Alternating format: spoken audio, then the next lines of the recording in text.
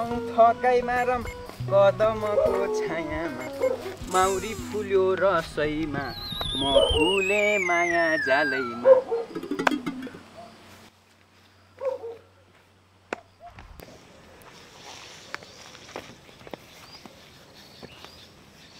हन हल्लिने त त्यही एउटा रहेछ हो गाँठे। के भन्छ यो फटा? होइन कता लाग्यो काइला काका? भेडीगोठ जान लाग्यो नि। भेडीगोठतिर लाग्यो कि फेरि पल्टनतिर लाग्यो? थाहा छैन।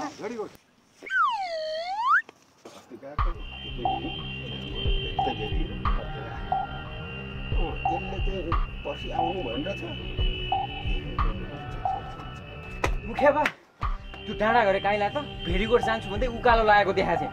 मलाई त भारी कसेर बाँधेको देख्दा फेरि पल्टनतिर लाग्यो कि के हो जस्तो लाग्यो? के भन्छ यो टपकाने तैँले तेरो आँखाले देखा हो त। ए मुखिया बा यो हर्केले बोलेको कुरा कहिले गलत हुन्छ? त्यसो भएदेखि त्यो काइनाको जान परिवारसँग बुझ्न जानु पर्यो। जुत्ता ल्याने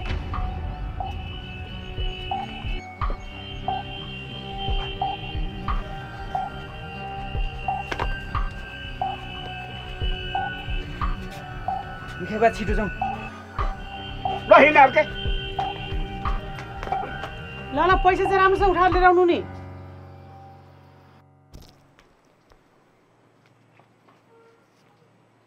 दुर्गे ए दुर्गे को छ घरमा?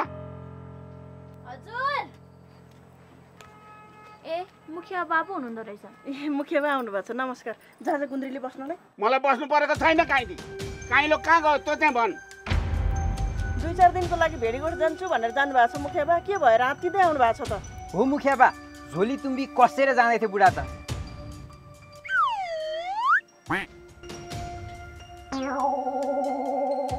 भेरीकोट गएको हो कि फेरि ऋण तिर्नको गाह्रोले पल्टन भाग्यो हो? होइन मुखिया बा भेडीगोठ नै जानुभयो। हो ल काइलो आएपछि मुखिया बा आउनु भएको छ भनेर भनिदिनु। आफै कुरो बुझ्छ। अहिलेलाई म गएँ। अर्कै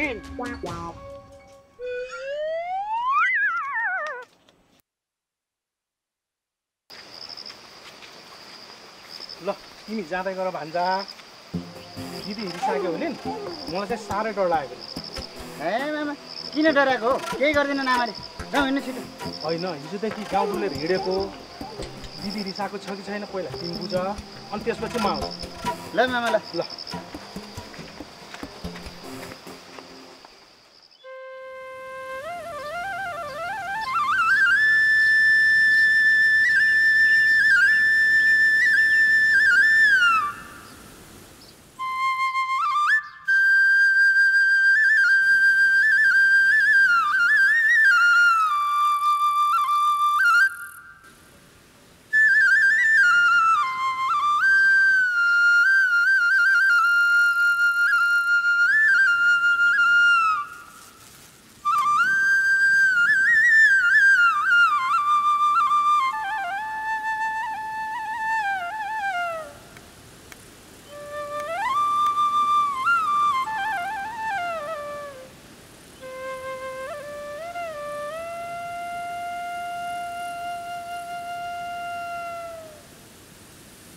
आज भेडीगोठ पनि पुगिँदैन दिदी घर पनि बाटैमा छ। घाम पनि हताउन लाग्यो। अब लाग्नु पर्यो।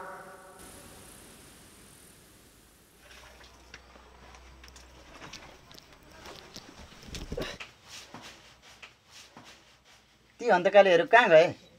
के थाहा? मलाई भनेर हिँड्छन् र गयो होला नि कतै। कति दुध चलाइरहे खै एक गिलास दुध ल्याउनु खानु पऱ्यो। कस्तो भोक लागेको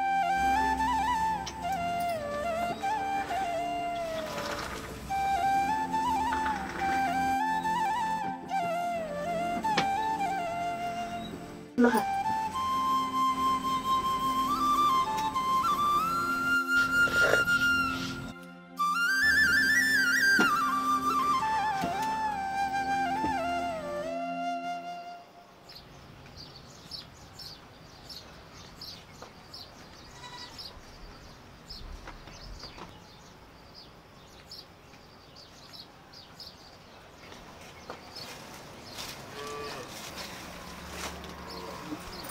मामा आउँछु भन्नुहुन्थ्यो माथि बाटोमा भेटेको थिएँ। होइन कहाँ जानु तम्सी कहाँ? तिमीहरू फेरि? लखर लखर लखर गाउँ डुल्यो घर बस्नु घर काम सघाउनु छैन। बाउ हेऱ्यो त्यस्तै छोरो हेऱ्यो त्यस्तै। होइन के साह्रो सताएको हो तिमीहरूले? एकछिन घरमा आयो कि कचकच कचकच मात्रै गर्नुहुन्छ क्या आमा। गएमा ए जा जा। कहाँ गएर मर्न जाने हो? जा। यहाँ मेरो काममा बाधा नपुर्या अब एक गुड्की दुध के दिएछ के के दिएछ गएमा कस्तो कस्तोको सङ्गत।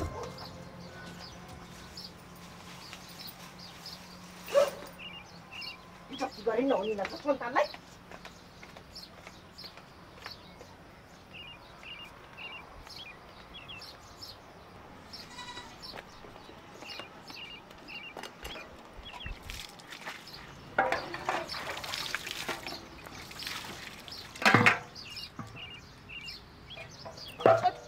अनि के को रनका छुटो आमालाई फेरि धेरै मुख नसलाए खुरखुर पानी लिएर आइज कहाँको रिस मलाई पो पोख्छिन् फेरि।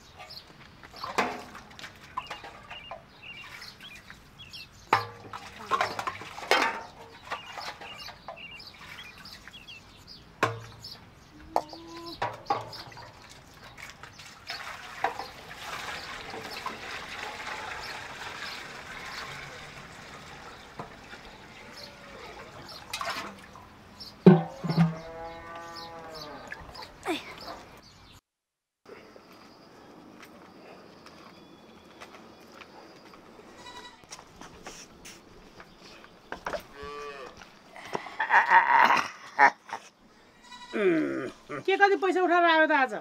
के आज पनि भुक्का रामै हो? पानीले त साह्रै खराब हो। पानी पिउनु पर्यो।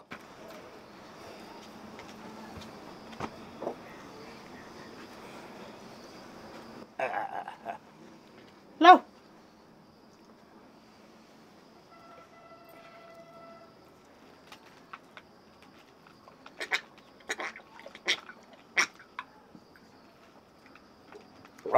एउटा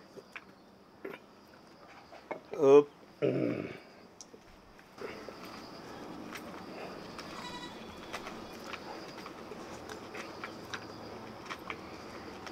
के र मलाई? पैसा उठाएर ल्याउनु सक्दैनस्?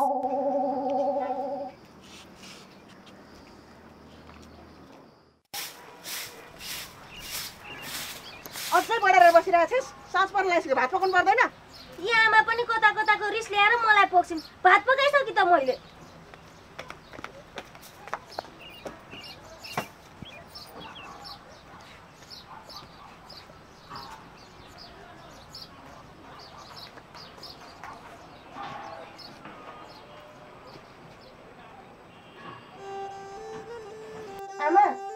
दिदीहरू मामा गए भोलि भाइलाई सँगै लिएर आउने।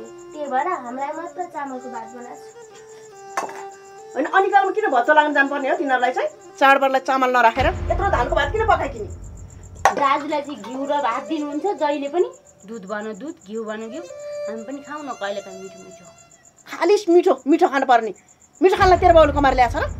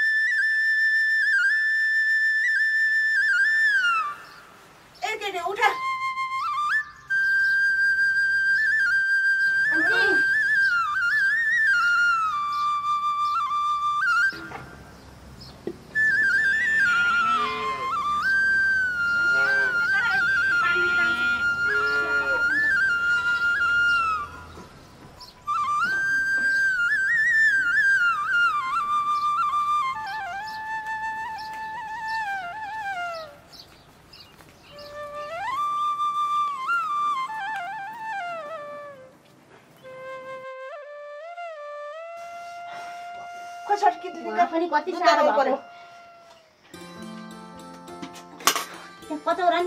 न। कति भयो बनाएको हो? झुम्री कहाँ? मर पनि खोजको चाहन्छु। आमा। यहाँ राख। ए, त्यसमा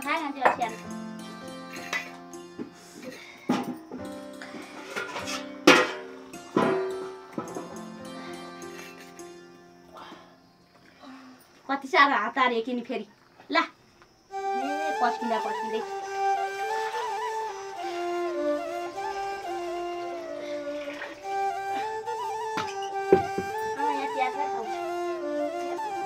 तातो छ अलि बिस्तारो खा न कति साह्रो हात थियो कि? राख भुइँमा एकछिनमा खा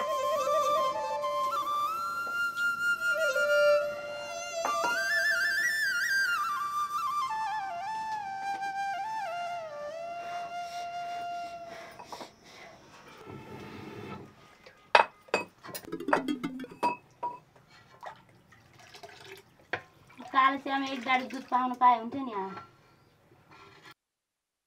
ए एक डाँडो दुध पाउनु पाए हुन्थ्यो नि आमा। दुध ताते छैन एक डाँडो दुध चाहियो उसलाई। खा न त्यत्तिकै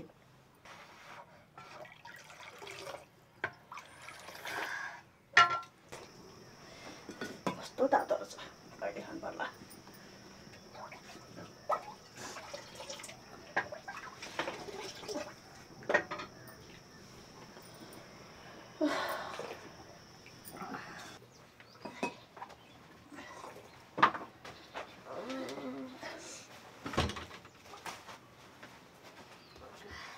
तातो होइन? खोइ खाउने गिलास ए रातभरि डुलेर पुगेन? दुध खानु पर्यो तँलाई फेरि? ए दिदी अहिले डुलेर के भयो त? पछि कमाएर पाल्ने भनेको। यही भान्जा हो। यसले भनेको कुरा पनि ठिकै हो। यसलाई अहिले सक्दो राम्रो गऱ्यो भने पछि त सबै मेरै त भने ए भगवान् किन मेरो पनि बुद्धि छिटो आउँदैन? भान्जीहरू आफ्नो घर गइहाल्छन्। भान्जा सानै छन्। ए दुर्गे जा गिलास माजा लिएर आइज। बस पुरै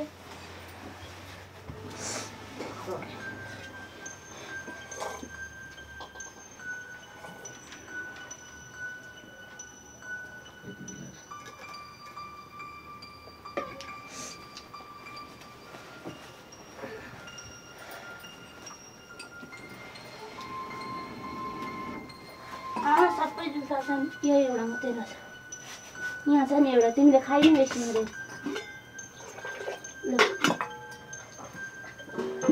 छ त्यो तिमीले जुठो हालेको छैन। ल ल थाहा छ त मलाई। हामीले एक डाँडो दुध देऊ न भन्दा चाहिँ मान्दिनँ त्यो। बढी न तँलाई ला मामालाई दि।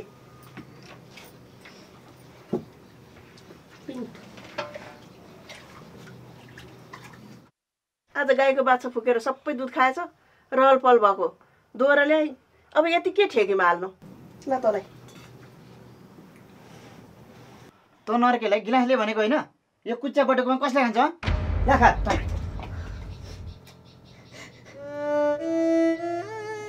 सबै जुटै छ राणा माजा ल्याउन सक्दिनस्?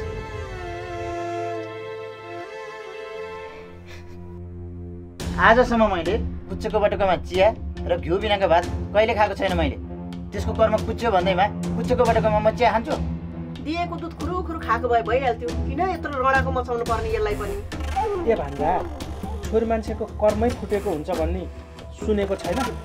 आखिरी कर्ममा जे लेख्यो त्यही भोग्नै पर्छ।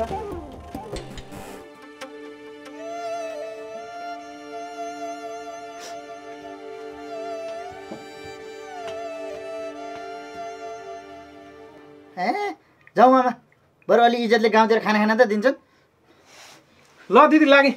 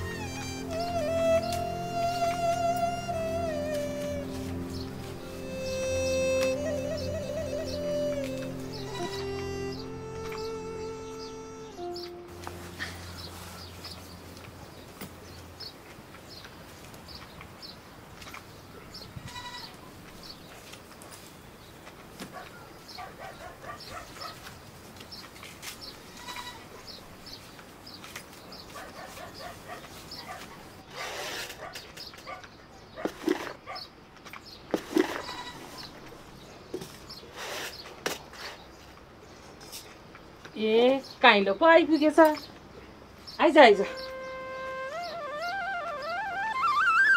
ल आइज यता बस। ल यहाँ बस। ल चिरञ्जीवी आइयोस्। ल बस।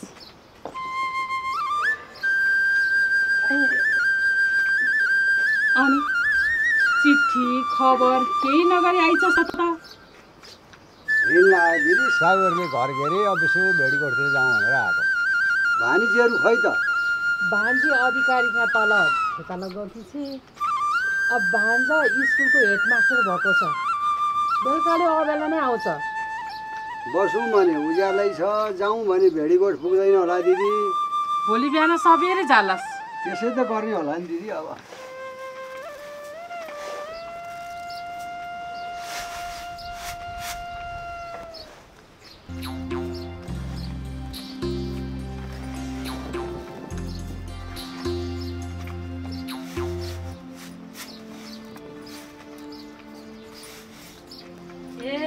मामा पो आइपुग्नु भएछ नमस्कार। मामा।